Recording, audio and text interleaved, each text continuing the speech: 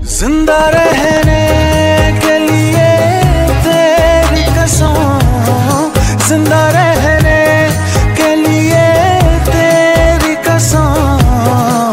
मुलाकात ज़रूरी है।